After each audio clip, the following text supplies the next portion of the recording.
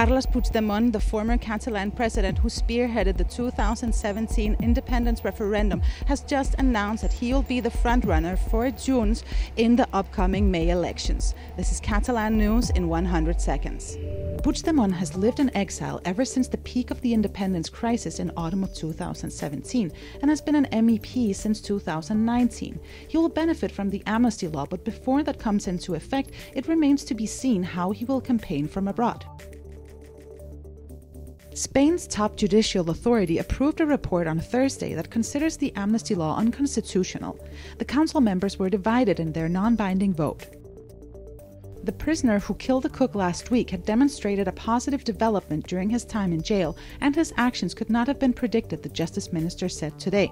The inmate was sanctioned in October for punching another prisoner and did not want to participate in psychosocial sessions. L'inhabilita per accedir a les activitats ordinàries i del CIRE sempre que presenti bona conducta i un risc de reincidència delictiva baix.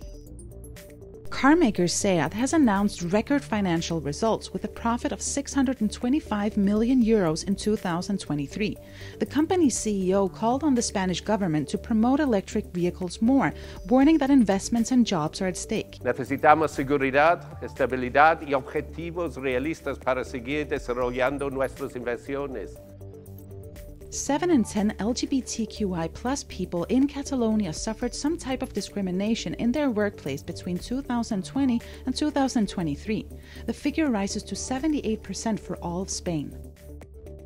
Catalonia has a new plan to cope with the ongoing severe drought, felling trees. Authorities will chop down one in four trees in a forest in the north of the territory, as previous poor forest management has meant that there are many large trees soaking up large amounts of water.